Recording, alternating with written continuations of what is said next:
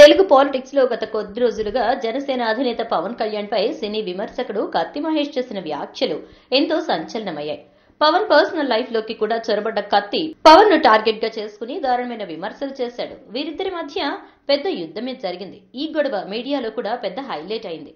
అంతకుముందు సినీ విమర్శకుడిగా ఎవరికి తెలియని కత్తి మహేష్ పవన్ను టార్గెట్ చేయడంతో ఇప్పుడు తెలుగు మీడియా సర్కిల్స్లో పొలిటికల్ ట్రెండింగ్లో మనోడు ఓ సెలబ్రిటీ అయిపోయాడు. చివరకు పవన్ అభిమానులు కత్తి మహేష్ మధ్య రాజీ కుదిరింది. అయినా కూడా కత్తి మహేష్ పవన్ మీద అప్పుడప్పుడు సోషల్ మీడియాలో టార్గెట్ చేస్తూ వ్యాఖ్యలు చేస్తూనే ఉన్నాడు. అయితే తాజాగా కత్తి మహేష్ చేసిన వ్యాఖ్యలు ఆయన చూపులు జనసేన వైపు ఉన్నాయా అన్న సందేహాలు రేకెత్తిస్తున్నాయి. కేంద్ర బడ్జెట్లో ఏపీకి కేంద్రం మోడీ తీవ్ర అన్యాయం చేయటంతో రాజకీయ పక్షాల నుంచి సామాన్య జనాల వరకు తీవ్ర స్థాయిలో కేంద్రం మోడీపై విమర్శలు చేస్తున్నారు.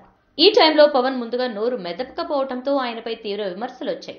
ఇక బుధవారం కత్తిమహేష్ ట్విట్టర్లో ట్విట్టర్లో పవన్ కేంద్రానికి జరిగిన అన్యాయంపై ప్రత్యేక హోదా కోసం ఈ నెల ఇరవై ఒకటిన న్యూఢిల్లీలోని జంతర్ మంతర్లో ఆమరణ నిరాహార దీక్ష చేస్తున్నాడని ఈ దీక్షకు తన సంపూర్ణ మద్దతు ఇస్తున్నానని ప్రకటించాడు.